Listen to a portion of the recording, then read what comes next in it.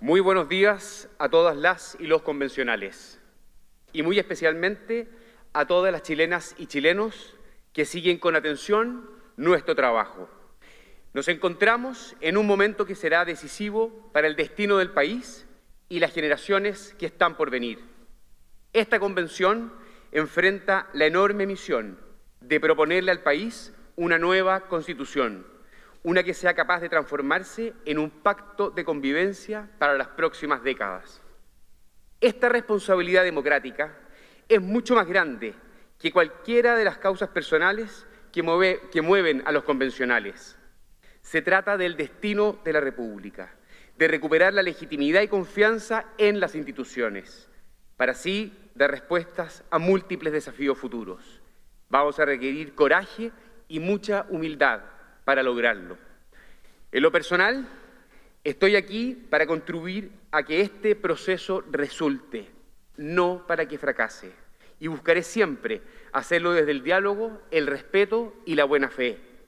Se trata de una disposición republicana, consciente de que Chile exige cambios.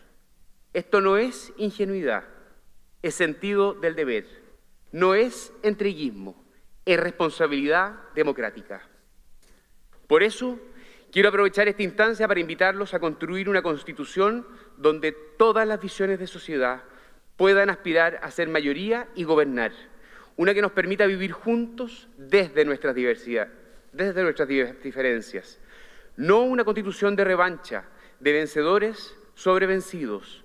No repitamos el mismo pecado de la constitución que estamos dejando atrás.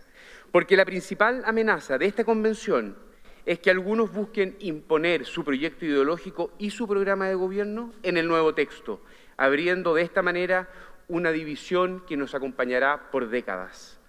Una constitución es un marco para que todas y todas podamos convivir de manera pacífica, donde el diálogo se antepone a la fuerza. Fue ese el espíritu que se plasmó el 15 de noviembre del 2019 en contraposición al 18 de octubre, día en que triunfó la política por sobre la violencia, las marchas pacíficas por sobre la destrucción, la reforma por sobre la revolución. Esa fue la voluntad que muchos asumimos cuando construimos el acuerdo del 15 de noviembre, cuando votamos a prueba, cuando condenamos la violencia y trabajamos para que Chile tenga una nueva constitución. Construyamos un país en que todas las personas puedan elegir y desarrollar sus, sus, propios proyectos de vida. En ello radica mi profundo compromiso con garantizar derechos sociales, porque ellos son los que permiten que podamos ejercer la libertad de manera real y efectiva. Trabajemos por una constitución que habilite una sociedad plural y abierta. Tengamos el carácter para enfrentar a quienes buscan imponer visiones totalitarias, verdades históricas y atentados a la libertad de expresión. Esa pulsión está presente, por ejemplo, en el reglamento de ética o en la declaración de los mal llamados presos de la revuelta. Construyamos una constitución para una sociedad diversa e inclusiva que los comprenda a todos como iguales en la riqueza de nuestras diferencias, que garantice equidad en materia de género, territorios, religiones, discapacidad y pueblos indígenas. Y especialmente, abramos juntos una nueva etapa de convivencia desde la interculturalidad entre los chilenos y los pueblos indígenas. Una constitución para una sociedad que empodere a las personas porque confía en ellas, ampliándoles su libertad y autonomía que potencia a la sociedad civil porque la entiende como motor de lo público. Hagámoslo desde un Estado colaborativo, no paternalista ni controlador, un Estado para el siglo XXI, transparente, meritocrático y moderno. Una constitución que libere los talentos del emprendimiento, la creatividad y la innovación, que lo haga desde una visión sustentable en un momento de emergencia climática, asumiendo la responsabilidad global que tiene Chile frente al desafío de lograr la carbono neutralidad a nivel global.